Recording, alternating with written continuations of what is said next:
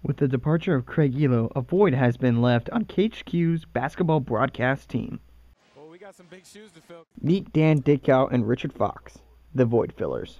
You know, I think it's an interesting dynamic uh, with Richard and I coming on board to do the Gonzaga games because one, we're former players. Two, uh, we both have a relationship with Greg Heister because he called the games when we were players. And three, we were college roommates. These college roommates have little experience in broadcasting, but a wealth of knowledge. At the end of the day, the beauty of what we're doing is we're talking about something we love, and that's basketball. Like when they were players, there's plenty of prep work for each game. You have to prepare for a game.